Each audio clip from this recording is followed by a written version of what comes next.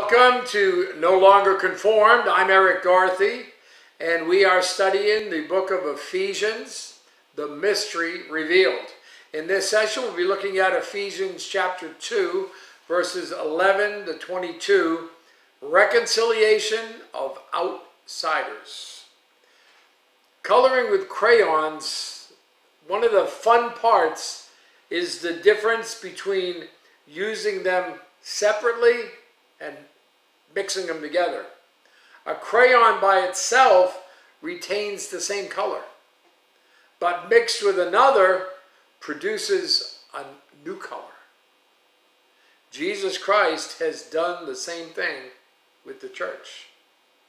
Ephesians chapter 2, verses 14 and 15, it says, For he himself is our peace who has made both one and has broken down the middle wall of separation, having abolished in his flesh the enmity, that is, the law of commandments contained in ordinances, so as to create in himself one new man from the two, thus making peace.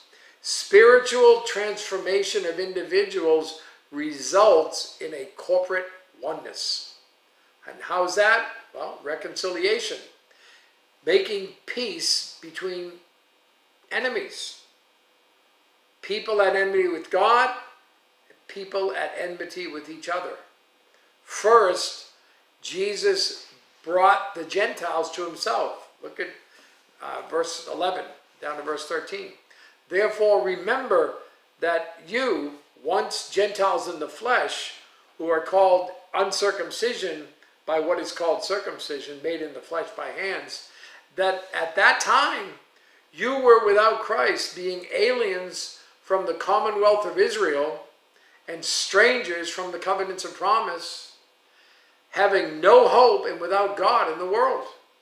But now in Christ Jesus, you who once were far off have been brought near by the blood of Christ. Remember, Remember who you were, Gentiles. Remember what you were called, uncircumcision. Remember what you lacked. What did Gentiles lack? Well, they had five strikes against them. Number one, they had no relationship with Christ. Two, they had no citizenship in God's covenant. Three, they had no share in the promise. Four, they had no hope. And five, they had no faith. We were Gentiles, all without Christ are, are. But look at verse 13 and the reversal of their status. You who once were far off have been brought near by the blood of Christ. Faith in Christ brings us into God's family. The saving work of Jesus is sufficient. Salvation by grace through faith, verses 8 and 9, chapter 2. For by grace you've been saved through faith, and that not of yourselves. It is the gift of God. It's his saving work, not of works, lest anyone should boast. It's by grace through faith. So Jesus brought the Gentiles to himself, and second, Jesus made Jews and Gentiles into one. Verse 14, down to verse 18.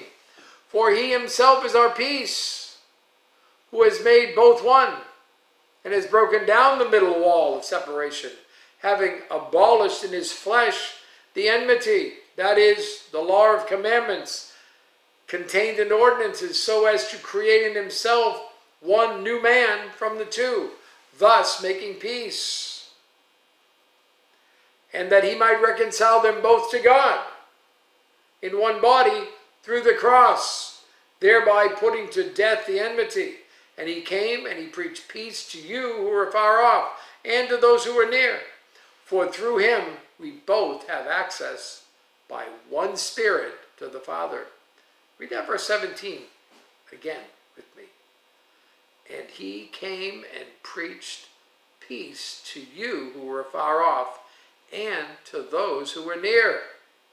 Jews and Gentiles, formerly enemies, are now reconciled. And how did Jesus accomplish that?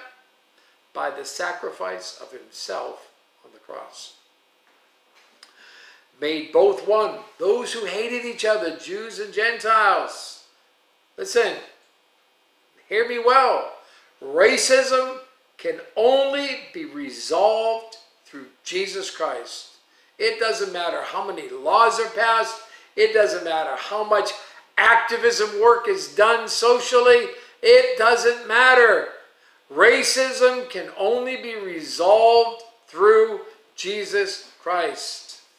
He made both one, and it has broken down the middle wall of separation. What was that wall? The law. The reason separation existed at all. The images of the temple wall between the court of the Gentiles and the rest of the temple area. It says they abolished in his flesh the enmity. What does that mean? Well, Jesus took away the power of the law to condemn. He formed one church of all believers, Jews and Gentiles. And it says, thus making peace. That looks back to Isaiah chapter 57, verse 19. I create the fruit of the lips, peace, peace to him who is afar off and to him who is near, says the Lord, and I will heal him. And then he reckoned, he brought them together, made, took the two and made them one, and then he reconciled them both to God. Sin made a quarrel between God and man. Doesn't matter who you are, Jew or Gentile. Jesus joined the fight and he ended it, reconciling man to an offended God, making peace, it says. We now have free access, free access to the almighty creator of the universe. Jesus made Jews and Gentiles into one reconciled them to God. And then third, Jesus built for himself a dwelling place. Verse 19, down to verse 22. Now therefore, you are no longer strangers and foreigners, but fellow citizens with the saints and members of the household of God, having been built on the foundation of the apostles and prophets, Jesus Christ himself being the chief cornerstone, in whom the whole building being fitted together, grows into a, temp, a holy temple in the Lord, in whom you also are being built together for a dwelling place of God in the Spirit. Now, therefore, now, therefore, what follows draws a conclusion from the previous verses, from 14 to 18. An inferior status has given way to a full acceptance by God strangers were strangers were short-term transients who just came through the city who came through and foreigners were resident aliens. So you had strangers and you had foreigners. You had people who were just coming through for a short time and then you had foreigners who were living there among the people. But neither one of them had any citizen rights. And yet believing Gentiles were granted full privileges as citizens in Christ, full members of the family of God. Jews and Gentiles, living stones of the same building. What about its foundation? The apostles and prophets who were close associates of the Lord. And the cornerstone? Jesus Christ himself, perfect to provide stability it is a sure foundation. What kind of building is being erected on that foundation? Well, it's a holy temple, a dwelling place for God.